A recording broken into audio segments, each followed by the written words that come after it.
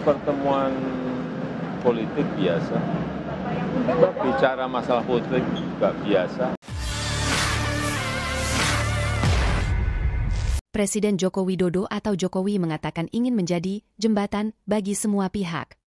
Hal itu dikatakan Jokowi saat ditanya pers soal pertemuannya dengan Ketua Umum Partai Nasdem Surya Paloh di Istana Presiden Jakarta pada Minggu, 18 Februari 2024, malam.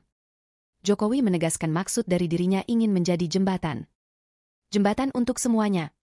Saya ingin menjadi jembatan untuk semuanya. Urusan politik itu urusan partai, ujar Jokowi. Besar TNI maupun untuk pelayanan terhadap masyarakat umum. Pak kemarin ada pertemuan Hmm? kemarin ada pertemuan semalam. Ya, pertemuan politik biasa. Bicara masalah politik juga biasa. Itu Bapak yang mengundang atau Pak Surya Paloh yang mengajukan diri? Saya kira dua-duanya tidak perlu lah susah siapa yang mengundang siapa yang nggak perlu. Yang paling penting memang ada pertemuan dan itu akan sangat bermanfaat bagi eh, perpolitikan kita, bagi eh, negara saya kira. Yang paling penting itu. Harapan Bapak kepada Pak Surya Paloh apa Pak? Ya ditanyakan aja kepada beliau-beliau yang ada di PDI Pak, Perjuangan. ajakan ke Nasdem apa Pak?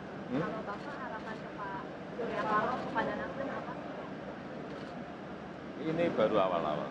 Nanti kalau sudah kasih Pak. final nanti kami sampaikan. Tapi itu sebetulnya saya itu hanya menjadi jembatan.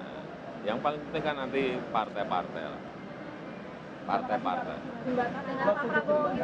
Jembatan gitu untuk semuanya. Saya ingin menjadi jembatan untuk semuanya.